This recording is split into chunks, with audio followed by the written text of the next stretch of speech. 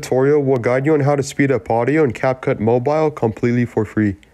If this helped, drop a like, share the video, and subscribe for more. CapCut application and highlight the video clip that you would like to speed up the audio.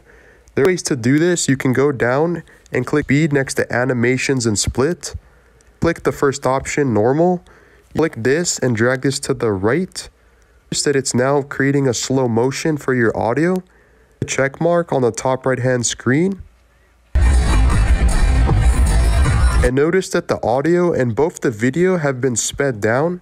The other option is you can click your video clip, go and scroll to the right. See the option extract audio next to motion blur and replace. See, this will separate the video from the audio track. The audio track is selected and highlighted. Go down and scroll to the right and you see speed next to beats and reduce noise. The same thing, drag this to the right. Do the same thing, click speed, drag to the right, not the left. And notice we'll speed up the audio and click the check mark. Completely for free.